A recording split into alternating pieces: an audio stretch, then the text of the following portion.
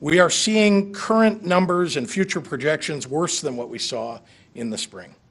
We're more practiced at responding to this virus now, so we have significant stockpiles of PPE. We have overflow capacity that's already planned by our hospitals, and we have much more testing available.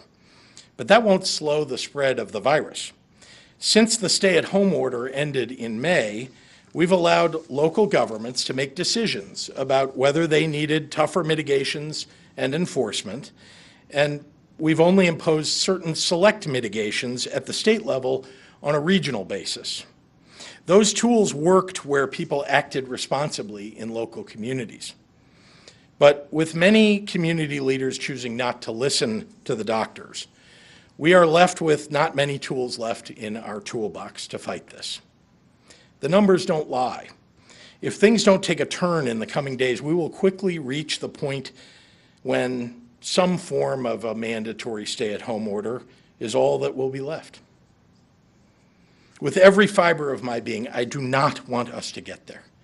But right now, that seems like where we are heading. If you're sitting at home and wondering what you can do to help prevent this and to stop the spread, well, wear your mask when you're out and stay home if you can. And while you're home, give your county board chair or your local mayor a call. Ask them what they're doing to enforce the doctor-recommended mitigations.